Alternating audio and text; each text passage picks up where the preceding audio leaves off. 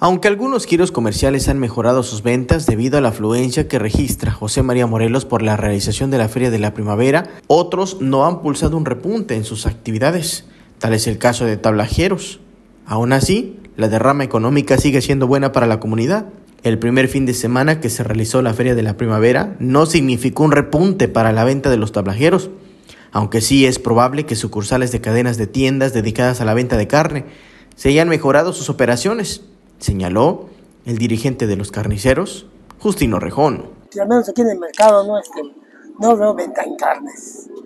Matamos normales, les comentaba hace tiempo que hemos estado matando dos, tres puercos a la semana por las competencias de las empresas grandes que han venido. Y la mayoría de la gente que viene a vender los tacos compran con las, en, las, en las cadenas de tiendas. Agregó indiscutiblemente, la festividad representa una derrama económica pues dos días a la semana él se dedica a la venta de tacos y ahí sí, la historia ha sido diferente. Bueno, yo vendo dos días a la semana y pues hoy estuvo regular, pero el fin de semana que hubo feria, la verdad estuvo, estuvo buenísimo aquí en cuenta de tacos. Los atoleros, las señoras que vienen acá vinieron bastante regular.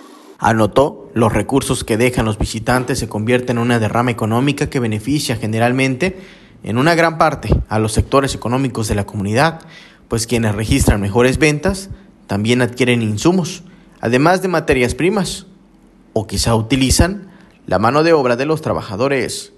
Para Canal 10 informó Juan Ojeda.